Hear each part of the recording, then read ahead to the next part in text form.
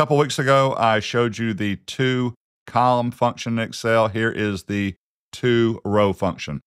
List of cities going from left to right. I do have a blank and also have a error message. I'm going to go to cell B6 equals T O R O W, tab, three arguments. Notice that only one is required, the array argument. Just highlight your data. Perfect. Press enter. There you go. It did pick up the blank. It shows it as a zero, and it did pick up the error message. Back in cell B6, I'm going to press the F2 function key for edit mode. Backspace, do that comma. What do you want to ignore? Zero is the default. If I wanted to ignore just the blanks, I would put a one, ignore the errors a two, but I'm going to do the number three here. Ignore the blanks and the errors, press enter. And now I've gotten rid of the error message and the blanks.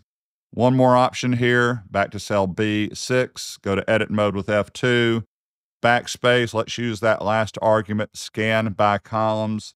If you notice, it is going from left to right in row two, Atlanta, Rome, Austin, San Diego.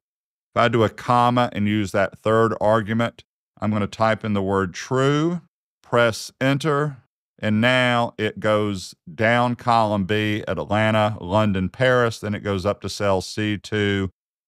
That is your TOROW function. Appreciate your time. My online training is available. Have a wonderful day.